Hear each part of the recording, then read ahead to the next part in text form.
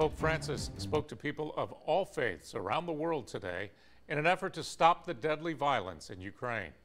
Mobile's Archbishop joined the Pope in consecrating Ukraine and Russia to the Immaculate Heart of Mary.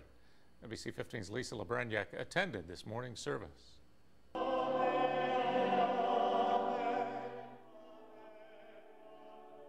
This is an act of faith. That's what Archbishop Thomas Rodi called today's prayer service. He's one of thousands of bishops around the world who agree this is a time of trial.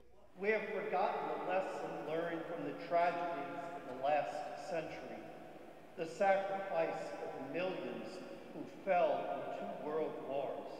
Asking for peace in Russia and Ukraine. We pray that the leaders of nations will have a conversion to turn away from violence.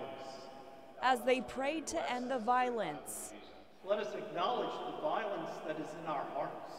The anger in our hearts can be violent.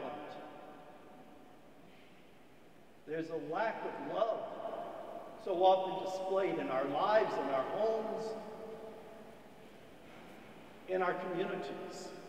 That statement spoke to many we were humble in the fact that we put us all together. We're all like in solidarity too with sinners and trying to be better. It's not just like pointing the finger like, you know, Russia's the bad guy. We're all in this trying to be better and do the right thing.